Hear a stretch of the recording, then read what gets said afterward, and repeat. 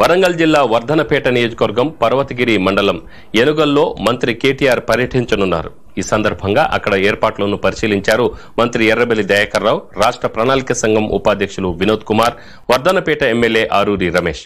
Helipad సభాస్థలం parking ప్లేస్లను ఇతర ప్రాంతాలను పరిశీలించి అధికారులకు పలు సూచనలు సలహాలు చేశారు.